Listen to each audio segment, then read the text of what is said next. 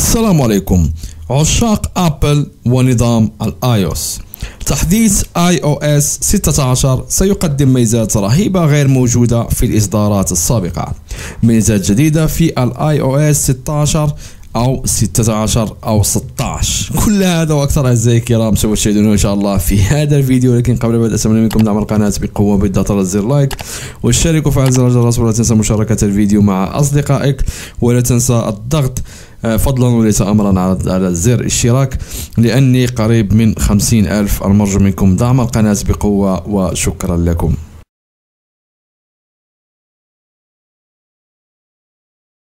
تستعد آبل لإطلاق نسخه جديدة من نظام التشغيل الخاص بهواتفها حيث كشف تقرير جديد أن تحديث ال iOS 16 سوف يقدم ميزات جديدة غير موجودة في الإصدارات السابقة من النظام.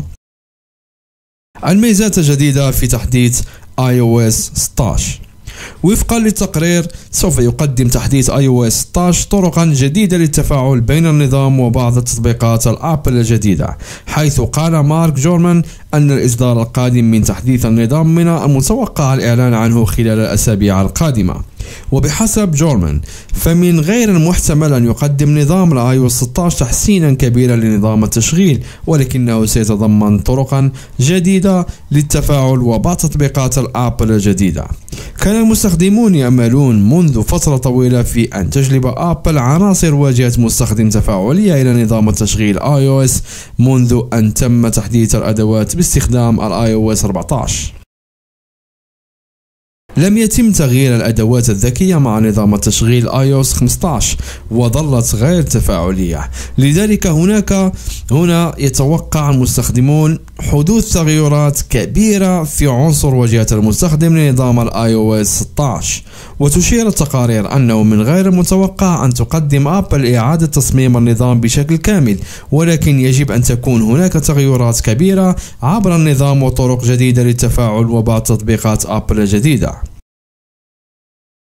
ذكر التقرير أيضا أن تحديث ال watchOS 9 سيكون أيضا تحديثا مهما جدا حيث ذكر تقرير سابق أن نظام الإخطار المحدث هو ميزات جديدة لتتبع الصحة واللياقة لل iOS 16 فهي ضرورية.